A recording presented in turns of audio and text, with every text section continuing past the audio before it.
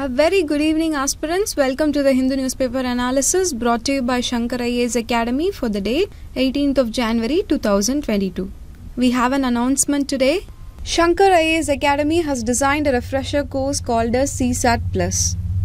The idea behind it is even though some aspirants score good marks in GS paper and prelims, they find it very challenging to qualify in the civil services aptitude test paper, shortly called as the CSAT paper. So, to help students to easily qualify for the CSAT, Shankar IAS Academy has come up with this course which starts on 27th January 2022. The class timing will be from 5:30 pm to 8 pm. The program is also available in online mode. The admission is now open and by joining one will get the following benefits. Complete overview of CSAT course, shortcuts for time management and accuracy, toppers interaction sessions, strategy to select easy and eliminate difficult questions which fetch more marks, strategy to improve and manage the English skills to understand the question, and previous year CSAT paper analysis. So, aspirants may use this opportunity to come out with flying colors in CSAT paper.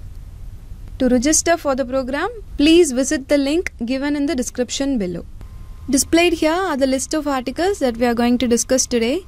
The first article here it talks about the Interstate Water Disputes Act. Under this article discussion, we are going to see examples of rivers over which states have disputes, and we are going to see some of the important provisions of the act, issues with it, and some reforms that are needed to be taken for avoiding such disputes in the future. The second article, which is a text and context article, this is about the child labor. We are going to discuss what is child labor and some of the measures taken by the international organizations and Indian government for the eradication of child labor. The third article, it is an editorial article. Under this, we are going to see the importance of livestock for the farmers and the issues in the livestock sector and the measures taken by the government to overcome them. Moving on to the next text and context article. Under this article discussion, we are going to see about the issues in India Nepal relations. And the next article here is about Kathak, and the final article here it is about tsunami. Under these two article discussion, we are going to see some basic facts from prelims point of view. Without any delay, let's get into our discussion. See this news article here. It talks about the recent comment made by the Chief Minister of Karnataka, Mr. Basavaraj Bommai, in relation to the Interstate River Water Disputes Act 1956. The Chief Minister went on to say that time has come to revisit the entire law because the law is creating more disputes instead of resolving them. He felt this way because many irrigation projects in Karnataka have been delayed due to the interstate river water disputes with neighboring Tamil Nadu, Maharashtra, Goa, and Andhra Pradesh. He suggested that the Interstate River Water Disputes Act should have multifold levels of dispute resolution focusing mainly on maximum utility of a river basin capacity and also the use of technology. The Chief Minister also said that laws relating to environment, forest, investment, and coastal regulation zone CRZ need to be revisited to accelerate the speed of infrastructure development and development of tourism in the state.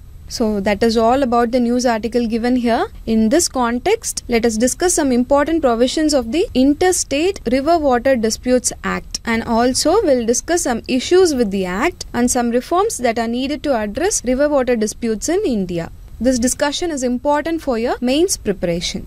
So, pay close attention. First of all, the syllabus regarding this discussion is highlighted here for your reference. Just go through it. Now, let us start our discussion.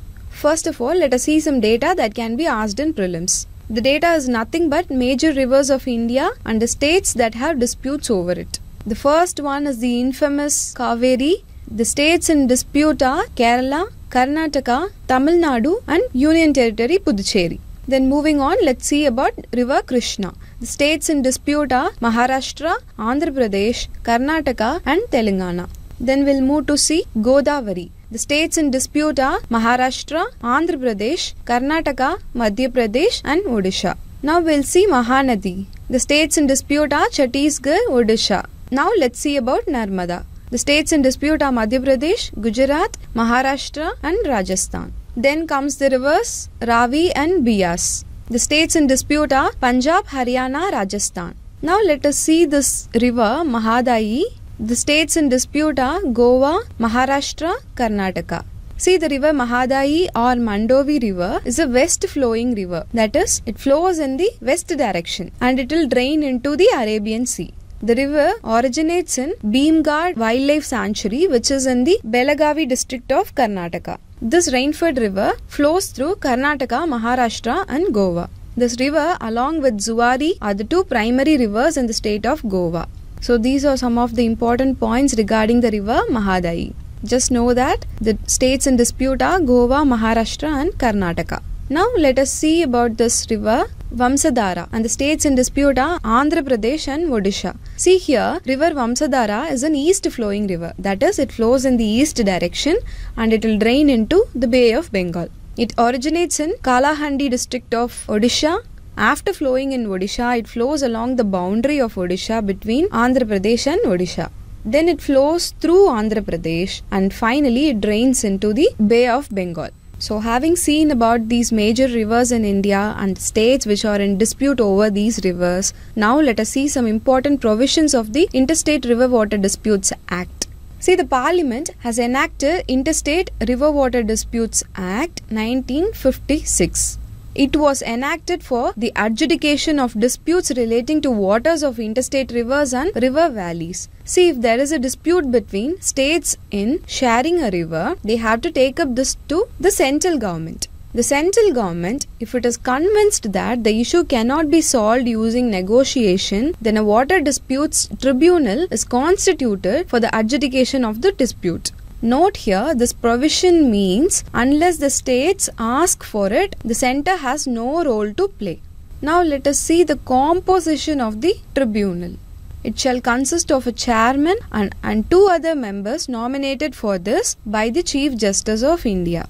The chairman and the members, while nominated, should be judges of the Supreme Court or High Court. The central government may, in consultation with the tribunal, appoint two or more persons as assessors to advise the tribunal in its proceedings. Once the tribunal pronounces its decision or awards, the central government should publish it in the official gazette. See, the award is binding on all parties concerned. The decision of the tribunal after its publication in the official gazette will have the power as an order or decree of the Supreme Court. After this, the central government shall form an authority to implement the award of the tribunal.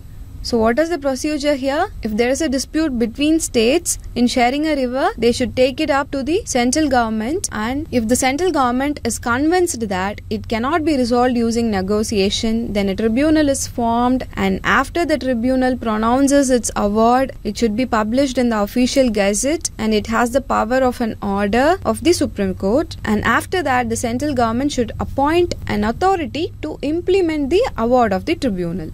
See, earlier we saw various water disputes, right? For all these water disputes, tribunal have been set up. But currently in India, only five interstate water dispute tribunals are active. Let us see what they are. Ravi and Beas Water Tribunal, Krishna Water Disputes Tribunal 2, Mahadayi Water Disputes Tribunal, Vamsadhara Water Disputes Tribunal, and Mahanadi Water Disputes Tribunal. We saw so many examples, but only these five tribunals are active now.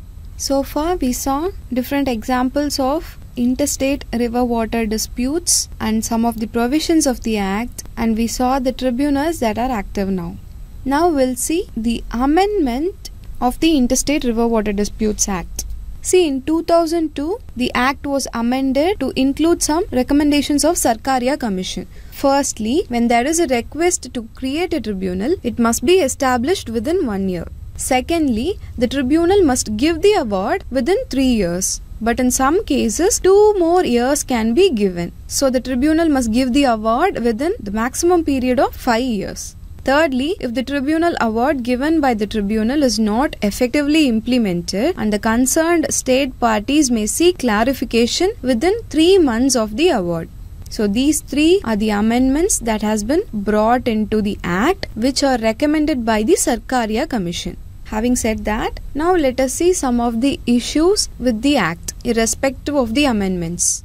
The foremost issue is delay. Though the time limit is 5 years, Ravi and Beas took 33 years, Kaveri consumed 29 years, and other tribunals took around a decade each. This is a major issue. And secondly, we saw that the award of the tribunal is final and binding. But the states can approach the Supreme Court under Article 136, which is special leave petition. This will also cause further delay, and hence this is also an issue. And thirdly, all of the members of the tribunal are from judicial background. We saw the composition of the tribunal, right? It consists of chairman and two members appointed by Chief Justice of India who should be judges of Supreme Court or High Court. So clearly they are from judicial background. This makes the bench of the tribunal similar to a bench of Supreme Court. There is no representation from experts in river management. This is a major issue. And finally, the act is against federalism. See, even in case of a serious dispute, a state cannot directly approach the tribunal. A state has to go to the center to refer an interstate dispute to a tribunal. So this is against the principle of federalism. So these are some of the issues regarding Interstate Water Disputes Act. Now let us see what are the reforms that could be made and alternative steps that could be taken to address the issue of the dispute. First of all, River Basin Management Bill should be implemented.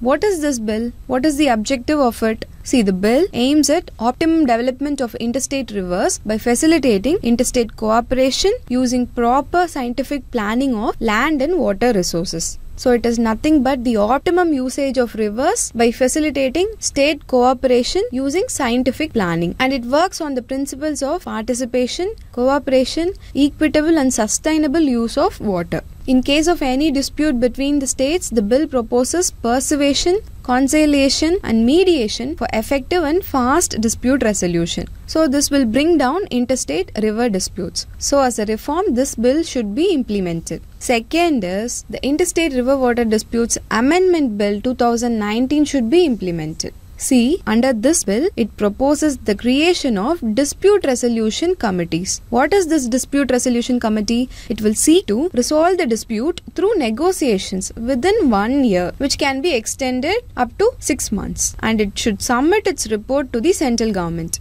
Note here that only if the disputes are not resolved by the dispute resolution committee, it will be referred to the tribunal. What is the original case? The states will take up the matter to the central government. If they feel that the dispute can't be resolved by negotiation, then the central government will form a tribunal. But here, only if the disputes are not resolved by the dispute resolution committee, it is referred to the tribunal. See, the next provision under the bill is it also plans to establish a data bank. According to this, the central government should maintain a data bank and information system at the national level for each river basin. The data bank will help in river management and help address the disputes in a scientific manner. Moving on, there are also some suggestions to create a single permanent national tribunal. See, constituting a tribunal for each dispute is a tedious and time consuming process. If there is a permanent national tribunal, the dispute resolution process can be simplified, right? Moving on, some of the alternative dispute resolution methods like track 2 diplomacy can also be followed. See, track 2 diplomacy is the practice of non governmental, informal, and unofficial contacts and activities between private citizens. The Kaveri family was one such attempt. Formed in 2003, it brought together farmers from both Karnataka and Tamil Nadu to initiate a farmer to farmer dialogue and solve the dispute. The Kaveri family was able to create an atmosphere wherein the farmers of both the states would sit down and hear out each other's concern. See, efforts like this will also bring down the interstate river water disputes. And finally, in addition to this, politics must be separated from interstate river water disputes. Only by using scientific and environmental methods can a permanent solution be brought to the interstate river disputes. So, with this, we have come to the end of our discussion. Now, let's have a quick recap. First of all, we saw the examples of river water disputes in India. We saw about the river Kaveri, Krishna, Godavari, Mahanadi, Narmada, Ravi, and Beas.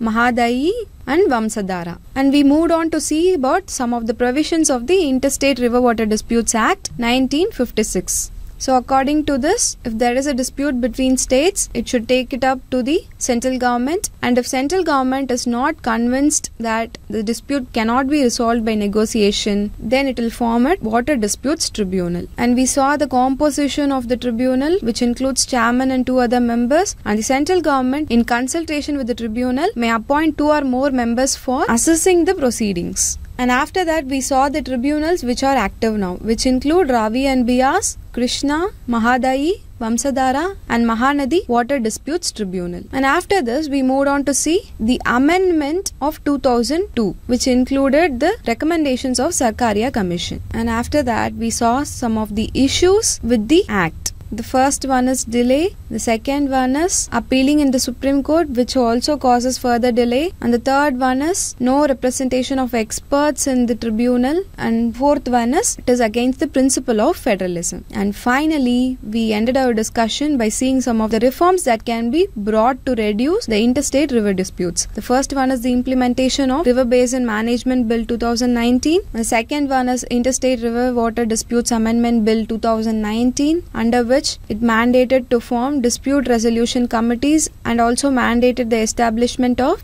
data bank. And as a third reform, we saw that creating a permanent single national tribunal will simplify the resolution process. And after that, we saw informal alternative dispute resolution systems like the track 2 diplomacy and we saw an example under this which is the Kaveri family and we also saw that politics must be separated from the interstate river water disputes so with these points in mind let's move on to the next article discussion See, let us take up this text and context article. It talks about the continuing menace of child labor.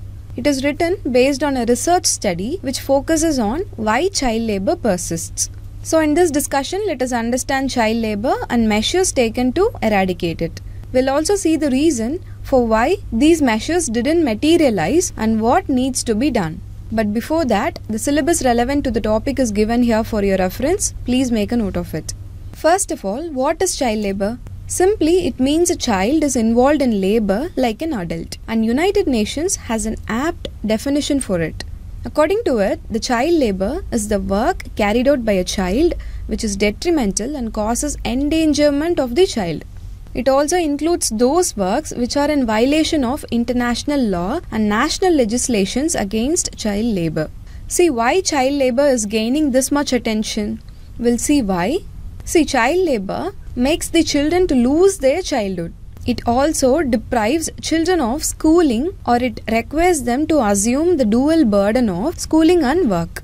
We all know that children are the supporting pillars of India. This early opportunities for skill development should not be curtailed by child labor and that is exactly why it is essential to eradicate child labor in India. So in this context, many initiatives have been taken by international community and India to eradicate this social evil. One such measure is the declaration of World Day Against Child Labour by the International Labour Organization ILO in 2002. This day is observed on June 12th every year. This program is aimed at focusing attention on the global extent of child labour and the action and efforts needed to eliminate it. In addition to this, the ILO has two important mandates focusing on child labor. The first one is Minimum Age Convention of 1973. It is commonly known as the Convention number 138. Its primary aim is ensuring effective abolition of child labor and raising the minimum age for admission to employment. So it stipulates that the minimum age at which the children can start work should not be below the age of compulsory schooling. Let us say that children should get compulsory schooling till the age of 16. So, here the minimum age at which the children can start work should not be less than 16. I gave you this example just for your understanding. Note that the minimum age is not 16. According to ILO, in any case, the minimum age at which the children can start work should not be less than 15 years. But there are some exceptions to it which are given to developing countries. Now moving on to the second one. This is called as the Worst Forms of Child Labour Convention of 1999. This is commonly known as Convention number 182. It aims at immediate elimination of these worst forms of child labor for children below the age of 18 years. Here, in this image, the worst forms of child labor are given. It includes slavery, trafficking of children, debt bondage, serfdom, forced or compulsory labor, prostitution, pornography, offering children for illicit activities such as trafficking of drugs and work which by its nature is likely to harm the health, safety or morals of children. Now let us come to the steps taken by the Indian government to eliminate child labor. First is framing a legislation for this purpose. This legislation is called Child Labor Act of 1986. This act was a result of recommendations of Gurupadaswamy Committee of 1979. Primarily, the act prohibited the employment of children in certain specified hazardous occupations and regulated the working conditions in other occupations. But the act was amended in 2016 and now we have Child Labor Prohibition and Regulation Amendment Act of 2016.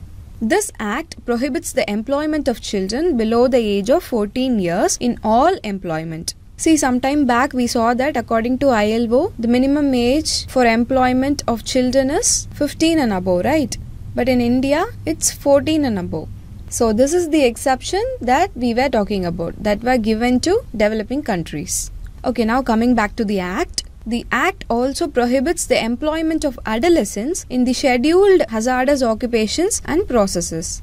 Secondly, India also has constitutional provisions for the protection of children. We have Article 21A, which is nothing but the right to education. It mandates state to provide free and compulsory education to all children belonging to the age of 6 to 14 years. And we have Article 24, it prohibits employment of children under 14 in factories or mine or in any hazardous employment. And we have Article 39. It states that it is the state's policy to focus on ensuring the tender age of children is not abused and citizens are not forced by economic necessity to enter a minor occupation that is unsuited to their age or strength.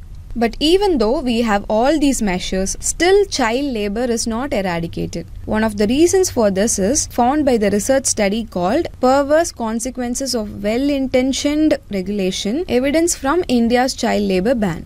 The reason cited for continuing child labor is insufficient enforcement of legislations on child labor in developing countries. This happens due to the weak institutions in the developing countries. So, from this, we can come to the conclusion that having legislations alone is not enough to eradicate child labor. Due to these weak institutions, the cost of hiring children does not increase for corrupt employers. Why? Because they have many children who seek employment due to poverty. And since there is a ban on child labor, there is no need for those corrupt employers to pay more to these children. Therefore, here again the child is in a disadvantageous position and this has spillover effect on the economic status of the children and their families. That is, such ban of child labor in turn affects the wage of children who are employed. When they are paid less, the poor poverty stricken family is compelled to send their other children also to work. This is what is concluded by the study. Here, it does not mean that child labor should not be banned. It should definitely be banned. But along with it, the wage loss faced by the poverty stricken family should be taken care of by supporting policy measures. Then only the family will not be compelled to send their children to work and they will have resources to tend to their children. This is particularly important in the pandemic times where more households are pushed into poverty, thereby pushing vulnerable children into child labor. So ultimately, it is the duty of the government to institute support mechanisms. So with this, we have come to the end of our discussion. Let's have a quick recap. First of all, we saw the definition of child labor, which is child involving in labor like an adult. And we also saw the United Nations definition of it, which is nothing but the work carried out by a child which is detrimental and causes endangerment of the child. And we saw the reason why child labor should be eradicated because it makes the children to lose their childhood and it deprives children of schooling or it requires them to assume the dual burden, which is both schooling and work. And after that, we saw the initiatives taken by the international community, which is nothing but the ILO, Under that, we saw the declaration of World Day Against Child Labor, which is June 12th every year. And after that, we saw two mandates focusing on child labor by the ILO. Number one is Minimum Age Convention of 1973, also called as Convention 138, which aims at ensuring effective abolition of child labor and raising the minimum age, which should not be less than 15 years. But there are exceptions. The second one is Worst Forms of Child Labor Convention of 1999, also called as the Convention number 182, which aims at eliminating the worst forms of child labor for children below 18 years. And after that, we saw the steps taken by the Indian government, which included the legislation Child Labor Prohibition and Regulation Act of 1986, and we saw the amendment to it, which is the Act of 2016 according to which the minimum age should not be less than 14 years in all employments. And we moved on to see the constitutional provisions which includes Article 21A, Article 24 and Article 39. And finally, we saw some points from the research study Perverse Consequences of Well-Intentioned Regulation Evidence from India's Child Labor Ban. Under the study, we saw that legislation alone is not enough. Enforcement is crucial for abolishing child labor. And we also saw that poverty is also a reason why families are sending their children to work. In order to address the poverty aspect of child labor, it is the duty of the government to institute support mechanisms for them. With these key takeaway points, let's move on to the next article discussion. Look at this editorial article. This article is with reference to the recently held livestock census by the Department of Animal Husbandry and Dairying. So, in this context, let us understand the role of livestock in farmer economy, issues in the sector, and some of the measures taken by the government in this regard. But before that, the syllabus relevant to the topic is given here for your reference. Please make a note of it. See, the livestock, it plays an important role in Indian economy, especially in farmer economy. It is unbelievable, right? I'll give you the statistics. See, about 20.5 million people depend upon the livestock for their livelihood, in which livestock contribute 16% to the income of small farm households and an average of 14% to the income of all rural households. So, to put it in simple words, livestock provides livelihood to two thirds of rural community. It also provides employment to about 8.8 percentage of the population in India. Livestock sector contributes 4.11 percentage to the GDP and 25.6 percentage to the total agriculture GDP. So this statistics makes the livestock sector important to the farmer economy. Here in this discussion I have given some of the highlights of the 20th livestock census. See the Department of Animal Husbandry and Dairying, which comes under the Ministry of Fisheries, Animal Husbandry and Dairying, releases this census. Just know that the livestock census is conducted across the country periodically since 1919. The census usually covers all domesticated animals and head counts of these animals are taken. The enumeration was done in both rural and urban areas. Another important feature of 20th livestock census is that it has been designed to capture the breed wise number of animals and poultry birds. So based on this data from the livestock census, it is said that world's highest livestock owner is India, which stands at about 535.78 million.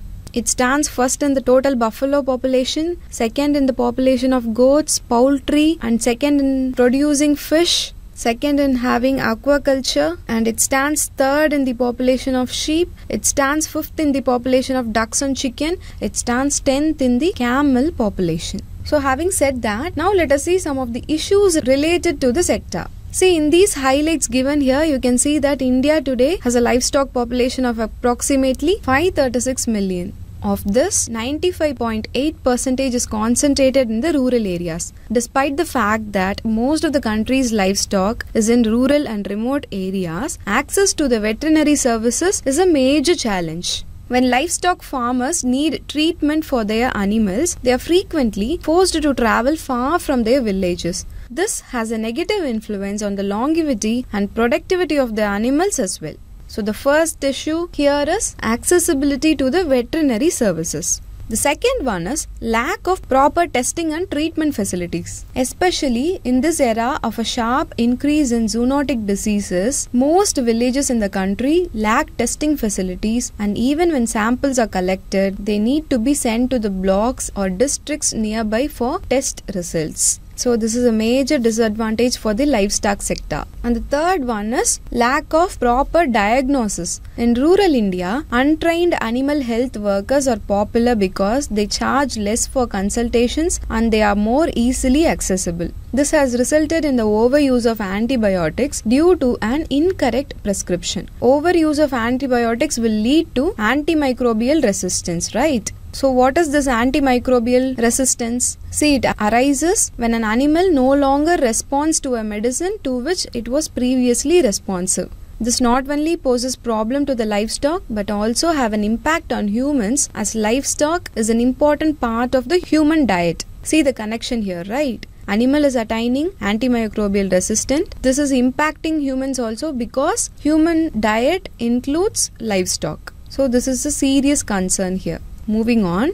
According to MK Jain committee report, livestock producers have more problems than typical agricultural farmers, particularly when it comes to obtaining financing and livestock insurance. See, most livestock farmers have 2 to 4 animals per household. So, improving their livestock's longevity and productivity will go a long way toward relieving rural poverty.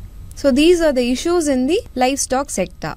So, to address all these issues, the government has identified a number of measures under the revised Livestock Health Disease Control Program, which is LHNDC. One such measure is implementation of a scheme named Establishment and Strengthening of Veterinary Services Mobile Veterinary Units, simply called as MVUs. The working of the scheme is very simple.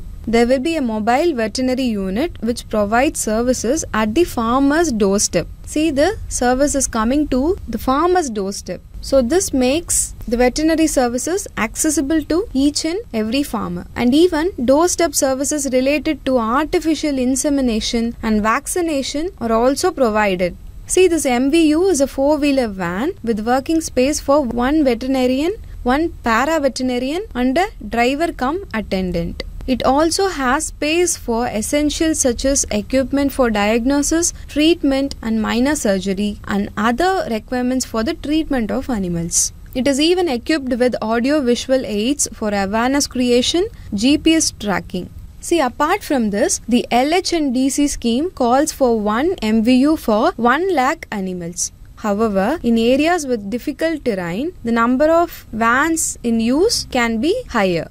See, all of these will help to reduce the accessibility gap between urban and rural locations. Now talking about the antimicrobial resistance. See, the MVU is in line with the One Health vision laid down by the Global Action Plan of WHO. So the MVU model will mitigate the issue of antimicrobial resistance as well.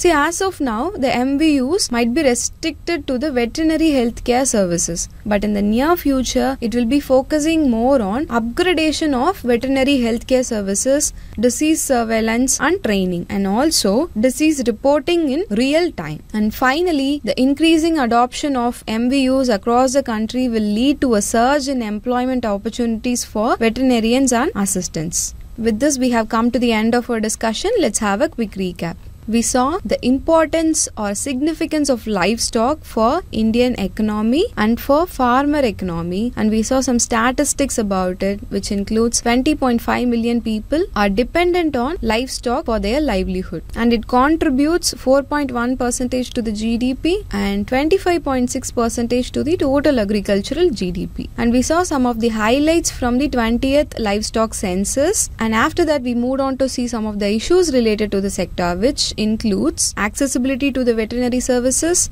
lack of proper testing and treatment facilities, lack of proper diagnosis, antimicrobial resistance, and lack of proper dedicated scheme. And finally, we saw some of the measures by the government, which included revised livestock health and disease control program (LHNDC), which implemented a scheme named MVU.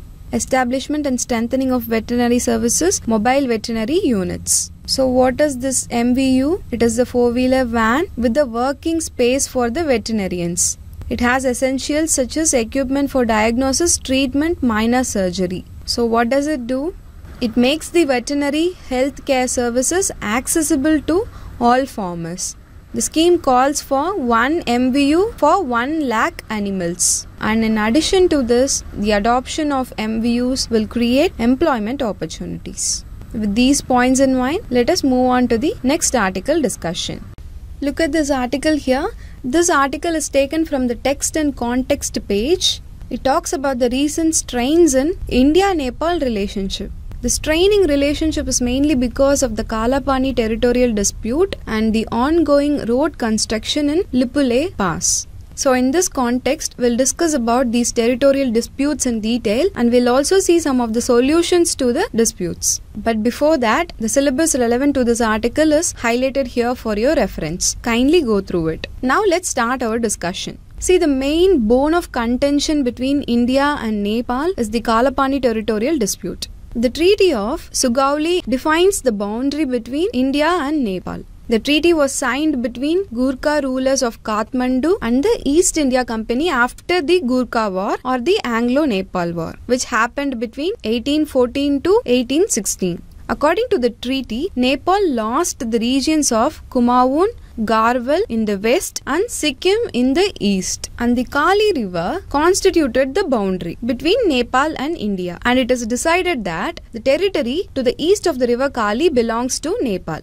But the dispute here is related to the origin of the river Kali, or more precisely, the dispute is mainly because of the varying interpretation of the origin of the river and its various tributaries that slice through the mountains. Nepal's experts say that east of Kali river should begin at the source of the river. The source, according to Nepal, is in the mountains near Limpiyadhura, which is higher in altitude than the rest of the river's flow. Nepal claims that a landmass high in mountains that falls to the east of the entire stretch starting from Limpiyadhura and downwards is their territory. India, on the other hand, says that the border begins at Kalapani and it is where the river also begins. The dispute is mainly because of this different interpretation of the origin of the river. While Nepal, while Nepal's claim of the territory east of Kali is based on the Limpiyadhura origin, India says the river actually takes the name of Kali near Kalapani. See, this region resembles a slice of cake wedged in between Limpiyadhura, Lipulekh, and Kalapani. See this map here? This is the disputed Kalapani territory. And when we take a closer look, see the Nepal claims that this is the place where the Kali river starts, but India says that this is the place where the Kali river originates and the territory east of this place only belongs to Nepal. See, again in 1996, the Treaty of Mahakali was signed between India and Nepal. This treaty envisaged the Pancheshwar multipurpose hydel project. In 1997, the issue of the origin of Kali River was first raised. The matter was referred to the Joint Technical Level Boundary Committee that had been set up in 1981 to re identify and replace the old and damaged boundary pillars along the India Nepal border. The committee clarified 98% of the boundary, but note that it left behind the unresolved issues of Kalapani and Susta. It was subsequently agreed that the matter would be discussed at the Foreign Secretary level. You can see the location of Kalapani in this map. It is located in the easternmost corner of Uttarakhand's Pithoragarh district. See, this area is in India's control, but Nepal claims this region because of his historical and cartographical reasons. The area is the largest territorial dispute between Nepal and India, consisting of at least 37,000 hectares of land in the high Himalayas. But now comes the real issue. The Survey of India issued a new political map on November 2, 2019. It was the 8th edition of the political map. This was issued to reflect the change in the status of Jammu and Kashmir as two union territories. But Nepal registered a protest here even though the map in no way had changed the boundary between India and Nepal. However, on November 8, the 9th edition was issued. In the 9th edition, the delineation remained identical, but the name Kali River had been deleted. It also showed Kalapani as part of Pithoragarh district. And this has led to the stronger protest with Nepal, invoking foreign secretary level talk to resolve issues. but the matter remained pending despite reminders from Kathmandu. Take a look at these two maps. You can clearly see that the name Kali River has been deleted in the 9th edition.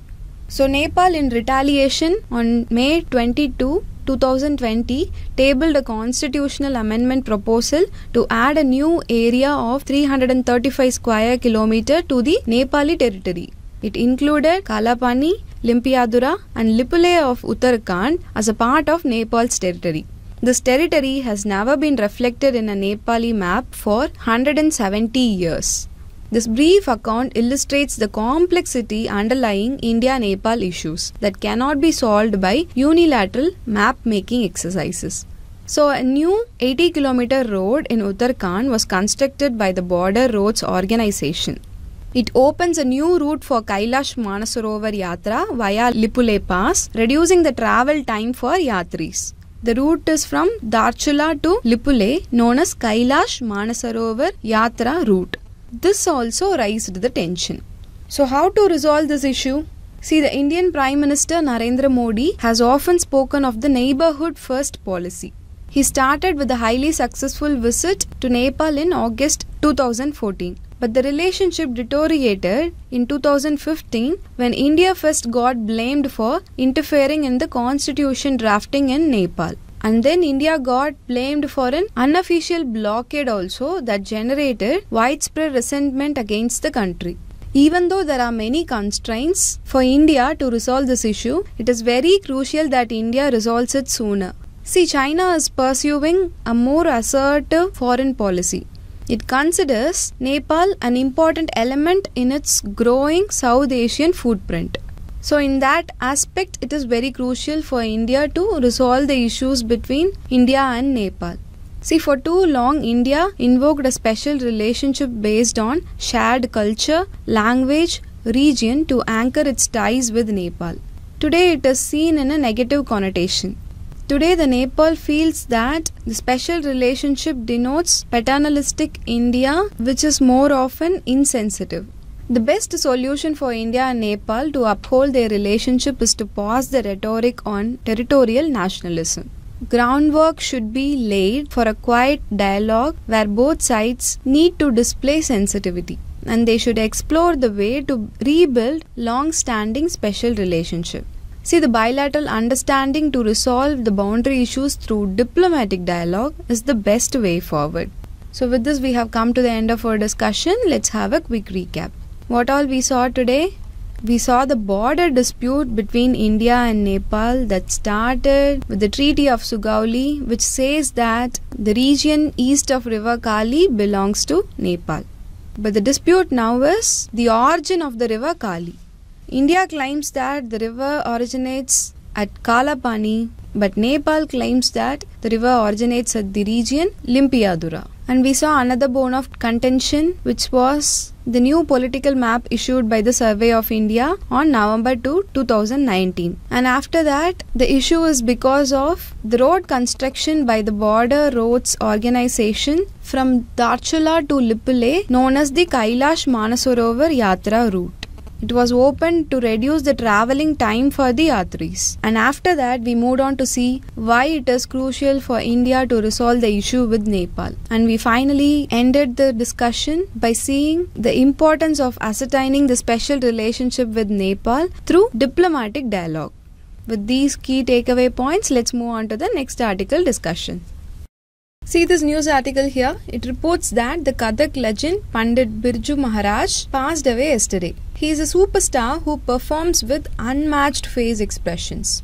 We are not going to go deep in this issue here, but instead, in this context, we are going to learn about Kathak in prelims perspective. See, before getting into the details of Kathak, have this basic understanding. Kathak and Kathakali are two distinct Indian dance forms. They are among the 10 Indian classical dances that are highly regarded throughout the country. See, Kathak is a dance form of Uttar Pradesh, Kathakali is a dance form of Kerala. Due to the fact that they sound similar, many might be misled to believe that they both are same, but they are not similar at all. See, the word Kathak has been derived from the word Katha, which means story, and Kathakas or storytellers are the people who narrate stories largely based on episodes from the epics, myths, and legends. See, it probably started as an oral tradition. Later, to make the recitation more effective, mime and gestures were added. This eventually led to the evolution of a simple form of expressional dance. This was later developed into Kathak as we see it today. Kathak began evolving into a distinct mode of dance in the 15th and 16th centuries with the spread of the Bhakti movement.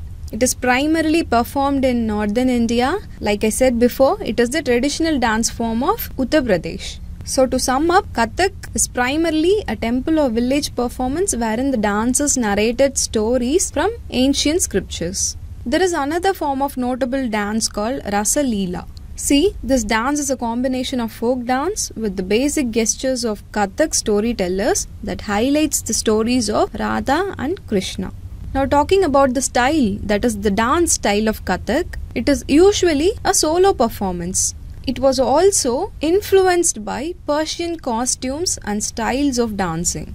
The dancer often pauses to recite the verses, that is the dialogues, followed by their execution through movement. Here in this dance, more emphasis is given to the footwork. The movements are skillfully controlled and performed straight legged by dancers wearing ankle belts.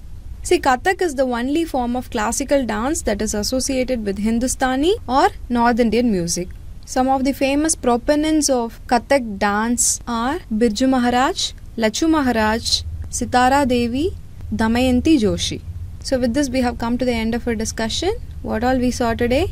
We saw the difference between Kathak and Kathakali. We saw the characteristics of Kathak and some of its features, and we moved on to see about the dance style of Kathak, that is the solo performance, which gives more emphasis to footwork. And we saw that it is a traditional dance form of Uttar Pradesh. So, with these points in mind, let us move on to the next article discussion. Look at this article. This is with reference to tsunami in Tonga. See, an extensive damage was caused in the Pacific island nation of Tonga following a massive underwater volcanic eruption and tsunami. In this context, we are going to learn about tsunami and its impact from prelims point of view. See, tsunami is a Japanese word meaning extremely high sea wave. A tsunami is a series of extremely long waves caused by a large and sudden displacement of the ocean. See, most tsunamis are caused by earthquakes on converging tectonic plate boundaries. According to the Global Historical Tsunami Database, since 1900, over 80% of tsunamis were generated by earthquakes. Seismologist opines that only earthquakes measuring greater than 7.0 on the Richter scale can produce a major tsunami. However, tsunamis can also be caused by landslides, volcanic activity, certain type of weather events, possibly near Earth objects such as asteroids and comets colliding with or exploding above the ocean. Let us understand in detail. See, the Earth's lithosphere is broken up into a bunch of discrete pieces called plates that move around the surface of the Earth. There are major plates and minor plates based on their sizes. This motion is driven by the flow of mantle rock beneath the plates and by the forces plates exert at their boundaries where they touch each other. So the motion is driven by two factors. One is by the flow of mantle, the other one is by the forces exerting at the boundaries of the plates where they touch each other. Earthquakes happen when plates move with respect to each other because of the friction and this stress at the edges of the plates prevents them from slipping smoothly at their boundaries. A subduction zone occurs when two tectonic plates meet and one plate slides beneath the other. So, when one plate is forced to dive beneath the other plate, there is no way to do it except with some component of vertical motion creating tsunami. Look at this figure for better understanding. See, when one plate is sliding beneath the other one because of the friction, the waves are formed. See, tsunamis have very large wavelength. This is only the wavelength. Since they have large wavelength, it will lose its energy as it propagates. As a tsunami leaves the deep water of the ocean sea and propagates into the more shallow waters near the coast, it undergoes a transformation. What is the transformation? The speed of the tsunami is related to the water depth. So, when the depth of the water decreases, the speed of the tsunami also decreases. Therefore, the speed of the tsunami decreases as it enters the shallow water that is near the coast, but eventually the height of the wave will grow, as you can see in this image here. See, tsunamis are among the most infrequent hazards. They do not occur very often and most are small and non destructive, but they pose a major threat to coastal communities, particularly in the Pacific region, because 78% of the Pacific Ocean around the Ring of Fire is prone to tsunami. A tsunami can strike any ocean coast at any time. There is no season for tsunamis. We cannot predict when, where, or how destructive the next tsunami will be. So, the tsunamis cannot be prevented. However, there are certain precautions that you can do before, during, and after a tsunami. These precautions could save many lives and they are taken by the government around the world from time to time. The first and foremost thing is we should stay away from hazard zones such as earthquake zones which causes tsunamis. Another method of protection is the use of sea walls in front of ports and cities. Proper planning of trees, mangroves and corals can also effectively used to mitigate tsunami. So that's all about this article. We'll have a quick recap. What all we saw today? We saw Japanese word tsunami and what does it mean which means a series of extremely long waves caused by sudden large displacement of ocean. And we also saw how they are generated when one plate slides beneath the other one. The friction caused by the subduction results in tsunami waves. And we also saw some of its characteristics which include the speed of the wave is directly proportional to its water depth so, if the depth of the water decreases, the speed of the tsunami also diminishes. But the speed and the height of the wave is indirectly proportional. That is, if the speed of the tsunami decreases, it makes the height of the wave to grow, which is near the shore. And we finally ended our discussion by seeing some of the precautions that you can take before, during, and after tsunami. With these key takeaway points, let's move on to the next part of our discussion that is the practice prelims questions. We have four prelims questions here. Two of them are previous year questions, two of them are practice questions. For the previous year questions, you are going to give me the answer and I'll solve the other two questions. Let's start with this first previous year question that was asked in 2018. The question says International Labour Organization's Convention 138 and 182 are related to option A child labor, Option B adaptation of agricultural practices to global climate change. Option C regulation of food prices and food security. Option D gender parity at the workplace. So this is a very easy question. We have discussed this fact in our discussion also. So try to give your answer in the comment section. Moving on to the next question. Consider the following statements the origin of Kathak is traditionally attributed to the traveling bards in the ancient northern India known as Kathakas or storytellers. Statement 2 Kathak is divided into three separate styles known as Gharanas. Which of the following statements given above is or are correct? See, in this question, both the statements are correct. Regarding the first statement given here, we have seen in our discussion that Kathak is traditionally attributed to Kathakas or storytellers. And coming to the second statement, it is divided into three separate gharanas or styles which are named after the places where the Kathak dance tradition evolved. I'll tell you what are those three gharanas. One is Jaipur Gharana, Banaras Gharana, Lucknow Gharana. So the correct option here is option C, both 1 and 2. Moving on to the next question. This is also a previous year question which was asked in 2011 the question is the 2004 tsunami made people realize that mangroves can serve as a reliable safety hedge against coastal calamities. How do mangroves function as a safety hedge? Option A the mangrove swamps separate the human settlements from the sea by a wide zone in which people neither live nor went out. The mangroves provide both food and medicines which people are in need of after any natural disaster. The mangrove trees are tall with dense canopies and serve as an excellent shelter during a cyclone or tsunami. Option D The mangrove trees do not get uprooted by storms and tides because of their extensive roots. Like I said, it is a previous year question. You are only going to give me the answer here. It is a very simple question. Try your logics here and post the correct answer in the comment section. Moving on to the next question. The tsunami can be caused by which of the following? Earthquakes, landslides, volcanic activity, near earth objects. Which of the following statements is are correct? This is also a very easy question. In our discussion, we saw that tsunami is caused by all of these four elements. When two plates converge, the subduction causes friction, which results in earthquakes. If this happens under the ocean or where the ocean is there, then this earthquake will lead to tsunami. Landslides in some places also lead to tsunami. The very recent example, the volcanic eruption in Tonga resulted in tsunami, right? So option 3 is also right. Near earth objects also causes tsunami if it explodes or collides in the ocean plate. So the right option here is option D 1, 2, 3 and 4. I have given some of the mains questions for your practice. So interested candidates write it and post it in the comment section. So with this we have come to the end of our discussion. If you find the video useful, please like, share and comment and do subscribe to the Shankar IAS Academy's YouTube channel for further updates. Thank you.